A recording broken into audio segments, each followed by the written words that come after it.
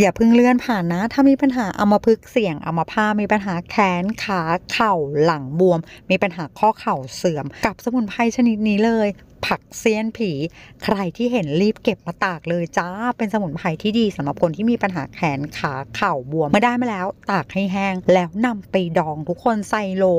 และตามด้วย 40 ดีกรีดองพอท่วม ดอง 2-3 สัปดาห์นำสูตรเนี้ยมาดื่มกิน เย็นเป๊กก่อนอาหารเป็นประจำและสำหรับคนที่ไม่ดื่มสุราแนะนำให้ดองด้วยน้ำผึ้งนะจ๊ะใช้น้ำผึ้งดองพอท่วมเช่นกัน และใช้เวลาดอง 2-3 สัปดาห์เช่นกัน ใช้น้ำดื่มกินเช้าเย็นเช้าเย็นมือละ 1 แก้วเป๊ก ปริมาณปรับเปลี่ยนได้เลยสำหรับคนที่มีปัญหาเลือดลมไหลเวียนไม่ดี มีปัญหาปวดข้อเข่าเสื่อมมีอาการหลังบวมอักเสบ เป็นยาต้านหัวลมอัมพาตอัมพฤกษ์ได้ดีอย่าเพิ่งเลื่อนผ่านนะ ถ้ามีปัญหาอัมพฤกษ์เสี่ยงอัมพาตมีปัญหาแขนขาเข่าหลังบวม มีปัญหาข้อเข่าเสื่อม กับสมุนไพรชนิดนี้เลย ผักเซียนผี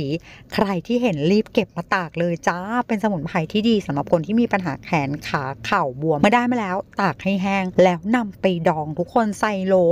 และตามด้วย 40 ดีกรี ดองพอท่วม ดอง 2-3 สัปดาห์นำสูตรเนี้ยมาดื่มกินเย็นเป๊กก่อนอาหารเป็นประจำและสำหรับคนที่ไม่ดื่มสุราแนะนำให้ดองด้วยน้ำผึ้งนะจ๊ะใช้น้ำผึ้งดองพอท่วมเช่นกัน และใช้เวลาดอง 2-3 สัปดาห์เช่นกัน ใช้น้ำดื่มกินเช้าเย็นเช้าเย็นมือละ1แก้วเป๊ก ปริมาณปรับเปลี่ยนได้เลยสำหรับคนที่มีปัญหาเลือดลมไหลเวียนไม่ดี มีปัญหาปวดข้อเข่าเสื่อมมีอาการหลังบวมอักเสบ เป็นยาต้านหัวลมอัมพาตอัมพฤกษ์ได้ดีอย่าเพิ่งเลื่อนผ่านนะ ถ้ามีปัญหาอัมพฤกเสี่ยงอัมพามีปัญหาแขนขาเข่าหลังบวม มีปัญหาข้อเข่าเสื่อม กับสมุนไพรชนิดนี้เลย ผักเซียนผี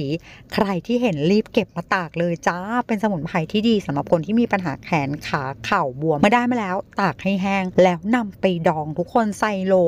และตามด้วย 40 ดีกรี ดองพอท่วม ดอง 2-3 สัปดาห์นำสูตรเนี้ยมาดื่มกิน เย็นเป๊กก่อนอาหารเป็นประจำและสำหรับคนที่ไม่ดื่มสุราแนะนำให้ดองด้วยน้ำผึ้งนะจ๊ะใช้น้ำผึ้งดองพอท่วมเช่นกัน และใช้เวลาดอง 2-3 สัปดาห์เช่นกัน ใช้น้ำดื่มกินเช้าเย็นเช้าเย็นมือละ1แก้วเป๊ก ปริมาณปรับเปลี่ยนได้เลยสำหรับคนที่มีปัญหาเลือดลมไหลเวียนไม่ดี มีปัญหาปวดข้อเข่าเสื่อมมีอาการหลังบวมอักเสบ เป็นยาต้านหัวลมอัมพาตอัมพฤกษ์ได้ดี